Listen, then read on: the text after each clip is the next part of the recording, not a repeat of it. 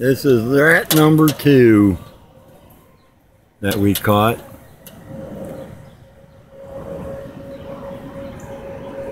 I think there's a bigger one running around, but I'm not quite sure.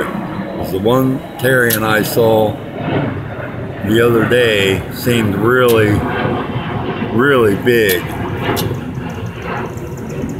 But